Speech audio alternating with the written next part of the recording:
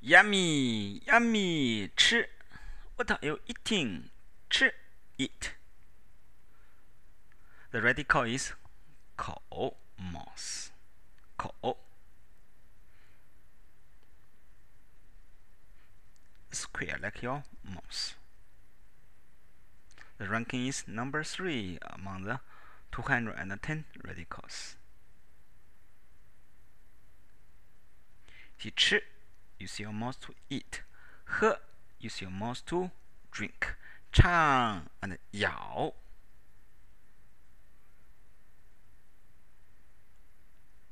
Ch. Radical is kou. Is eat. Ch. Eat.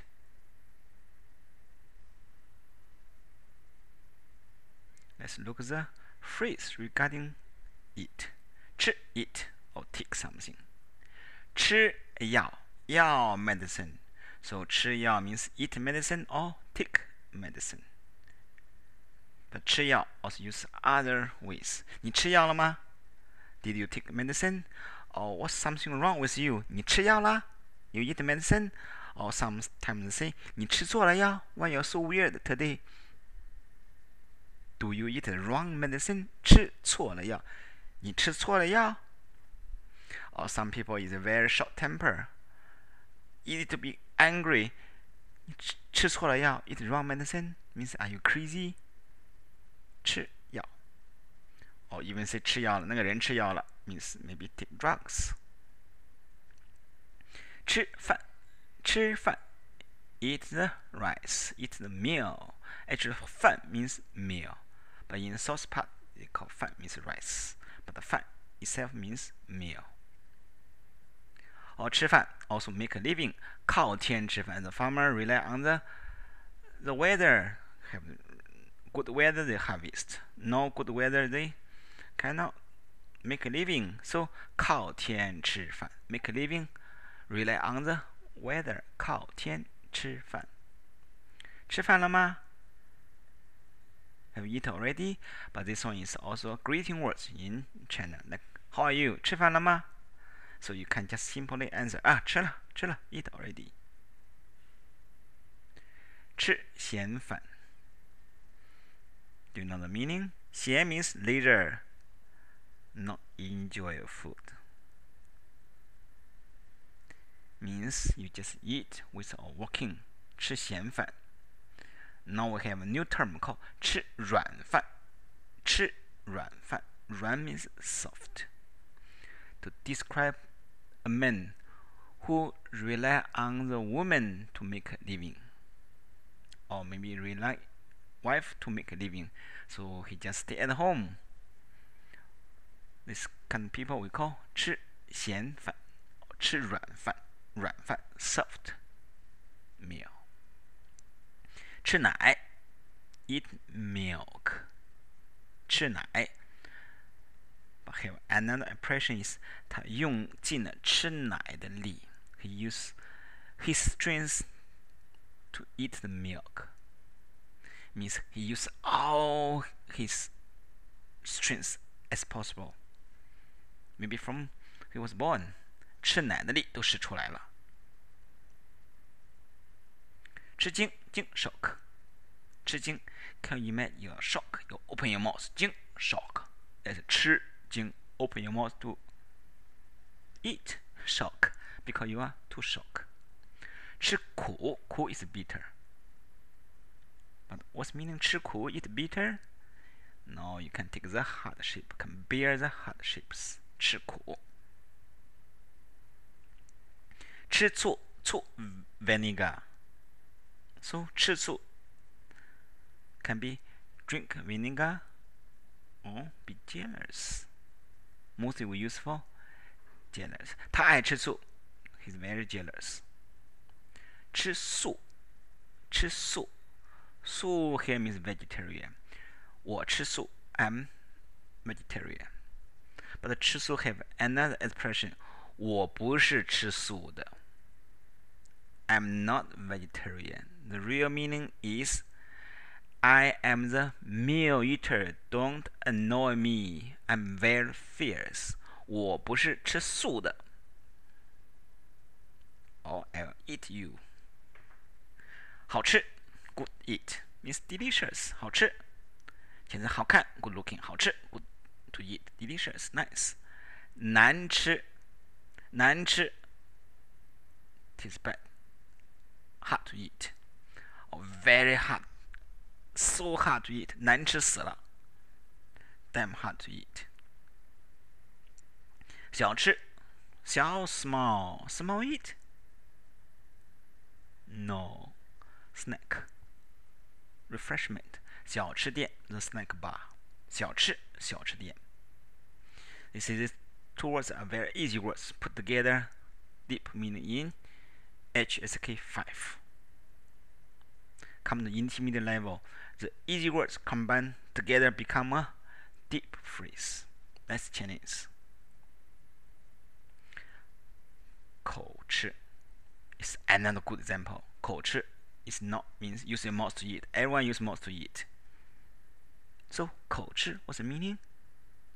You talk something like this. 我我我哎哎哎哎 This one 口吃 standard 口吃 but don't practice that one. Otherwise, you will become real coach in China with kids.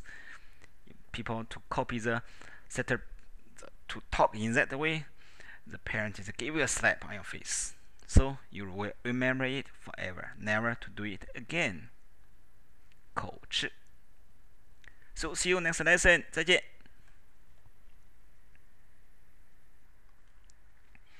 is a 30% off coupon. You can apply this coupon code in edu.biz slash shop.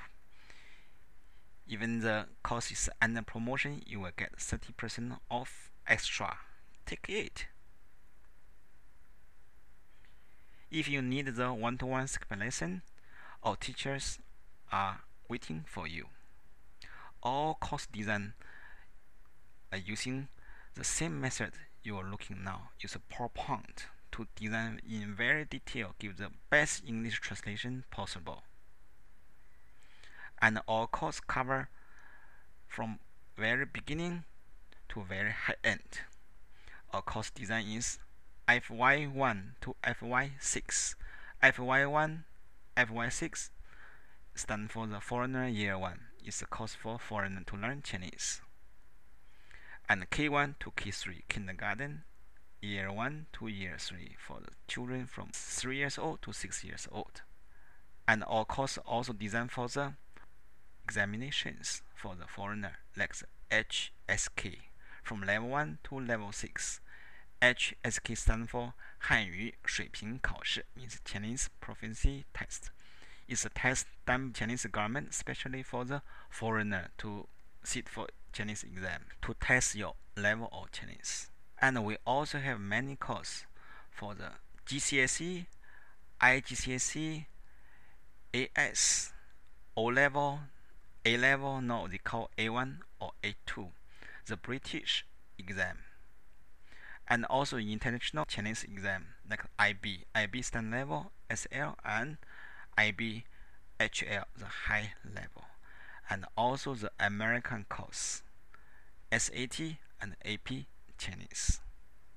See, the HSK stand for the 汉语 H, 水平 S, 考试 K, Chinese Proficiency Test. HK6 is the highest level of the HSK examinations. The total six levels. HSK is the international exam conducted by Chinese government for foreigner. It's Chinese TOEFL exam.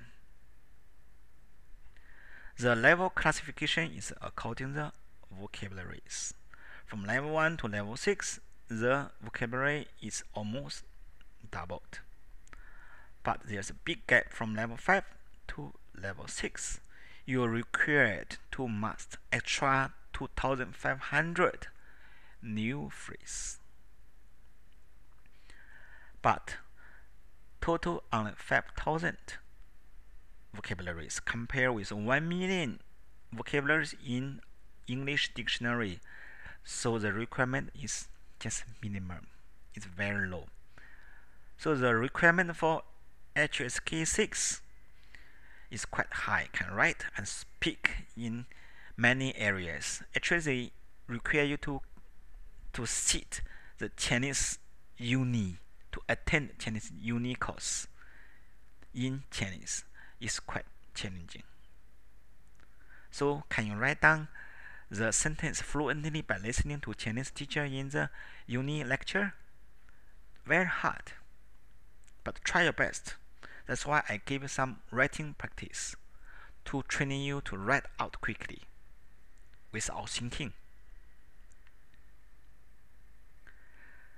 From my 20 years the foreign language teaching as Chinese as second language for the different exam. Here is a comparison between the HSK classification with other international Chinese exams like the GCSE, IGCSE, GCSE or A1, A2 or A level, AS in UK.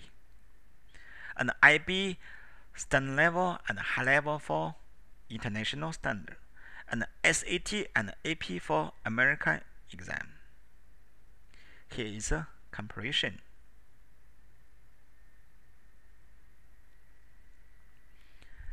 If you want to know the 8000 HK vocabularies before 2000 the old standard, you can go to my slide share.